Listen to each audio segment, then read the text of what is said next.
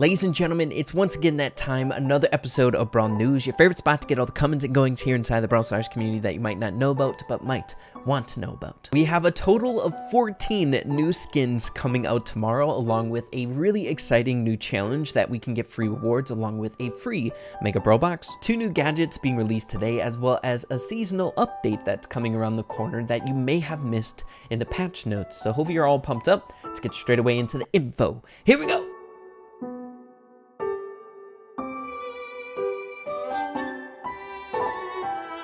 So of course, if you guys enjoy these episodes of Brawl News, consider hitting that subscribe button down below, become a part of the Rey Brawl Stars family. I always try my best to keep on top of the more significant things that I think you guys would want to know about here in the community if you aren't so crazy present inside of it, right? And hey, if you guys are already subscribed and you want to support me any further here in Brawl Stars, make sure to use code REY in the Brawl Stars shop, one of the best ways to support a creator that you enjoy watching here in the community. But with my YouTuber things out of the way, getting straight away into the first bit of info here in today's video that I think you guys are going to want to know about. We're starting things off over here on the official Brawl Stars Twitter page, outlining a tweet that came out six hours ago. Here's what you're going to see tomorrow. A lot of things, if you ask me. The Latin Master League Challenge, skins for some of the greatest football slash soccer clubs in Latin America, and Dino Leon, which isn't related to football, but it's super cool still.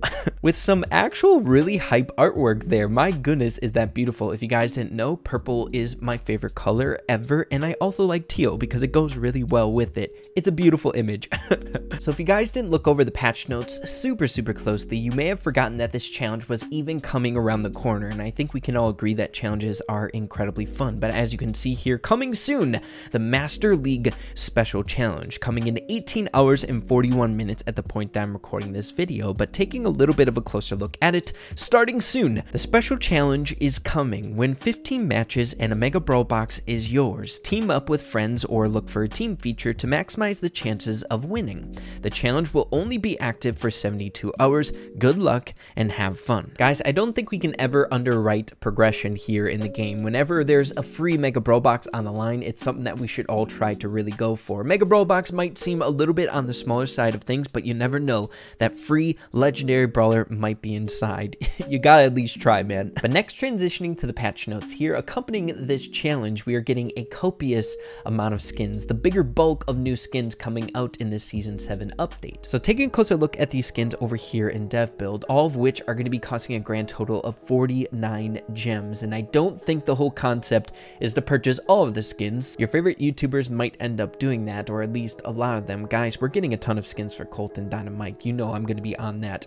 but in reality, if you're a soccer slash football fan, it's meant to be able for you to support your favorite soccer or football team out there in the form of having a skin for a particular brawler here. But as you can see, here are the four for Colt. They're looking phenomenal, if you ask me. I think my favorite one is the green one, just because of the stripes, man. Next up, we have Shelly's three. We have blue and gold, a red jersey, and a blue with white trim. And you guys will have to forgive me. I'm just going over what the skins look like. I know the teams are in the top left-hand corner, but I'm going to be mispronouncing those names. And come on, let's be honest. I'm approaching this how my younger self would do so way back in the day if I was playing like a soccer game or a sports game. Guys, you pick the team on how cool the jerseys look, right?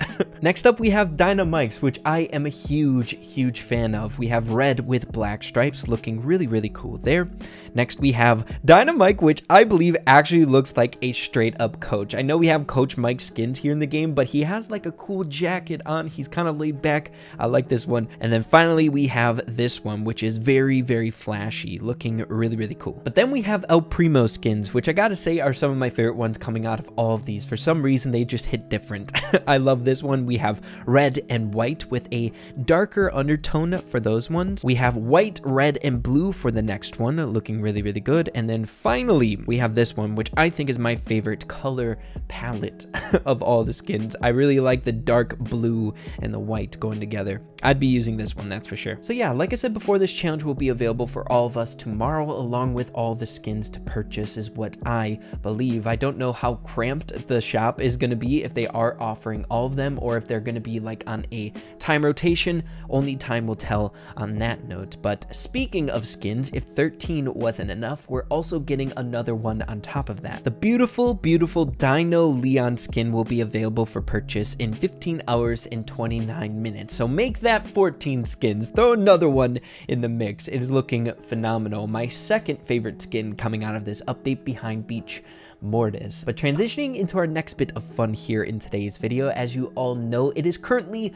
Thursday, which means we are getting two new gadgets being released today. I'm sure we all know who ended up winning the poll, but arriving here once again over on Twitter, we have four brawlers in this poll, but Spike as well as Edgar were the winners by a very, very close margin. As you can see in this poll, Ruffs and Edgar are tied. So at the point this poll concluded, we have to assume that Edgar was just a tiny bit ahead of Ruffs, but I'm very happy that the Spike one won. I love that gadget. It's so freaking funny. So of course, in Rey Brawl Stars fashion, we don't have these new gadgets in the coin daily deals shops. I feel like we never do, so we have to get it on the first day with the gems. And I think uh, a lot of people have been memeing on the price for gadgets when it comes to gems. That's literally all that is over on Reddit. And I gotta say, it's really, really funny. Make sure if you guys are cost efficient here in Brawl Stars, just wait for them to come out in your shop for coins, right? It's only a thousand coins, which might be a lot for some people out there, don't get me wrong, but it's much more cost efficient if you ask me. But we got to get it first day, baby. But as we all know, Spikes is called Life Plant. Spike grows a large cactus with 3,500 health to give cover to friendlies. If destroyed, the cactus bursts,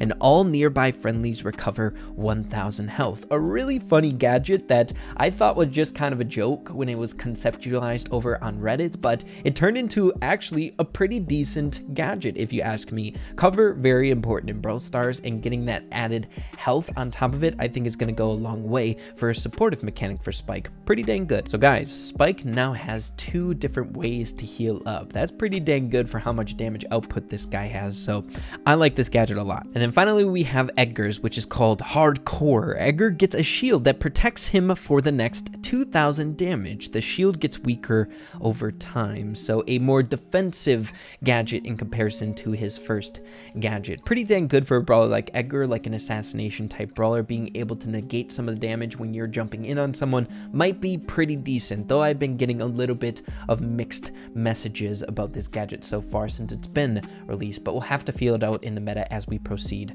further on. But with that out of the way, we really don't have a whole lot more to discuss here in today's video. One thing that I do want to point out that may have kind of gone over some people's heads, seeing that, you know, Season 7 was pretty dang huge, if you ask me, is the different seasonal events. As you guys can see in the patch notes, we have, of course, the Brawl Pass Season 7 7, the Jurassic Splash. But coming around here in the future, we have another seasonal event called Bad Randoms, punk music event, with a main menu background change and a main menu music change. Guys, I don't know if you know this about your boy Rey by now, but I live for these smaller changes coming within like a update, a bigger update, right? It feels like a smaller update, it changes the pace of things, and I'm assuming this event is going to be coming around the corner when Wicked Stew along with Trash Poco are scheduled to be released, which the first one is Trash Poco on August 18th, with Wicked Stew coming out on August 19th, one day after that. So it's a little bit far off, but I think once that time does come around the corner, it'll be a nice mix up from the background and the vibe that we have with Season 7, the Jurassic Splash. So look forward to that. And then the final thing that I wanted to bring up as I was grazing through these patch notes for this video is make sure to keep in mind that the fun new game modes that came out with the Season 7 update are limited time